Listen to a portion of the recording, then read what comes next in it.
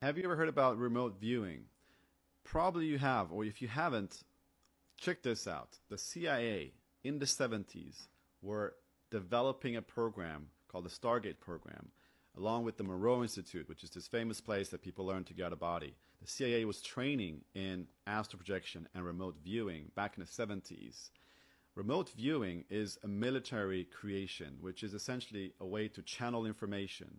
You sit down, you write down the things that you experience in your mind. How is it different to astral projection? Because a lot of people think they're the same thing.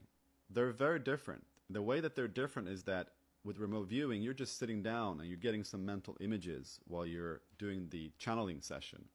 With astral projection, you are projecting yourself to that location where you're able to see it just in the way that you're seeing reality right now. Like you're there. You're not just channeling the information from that place, you're actually there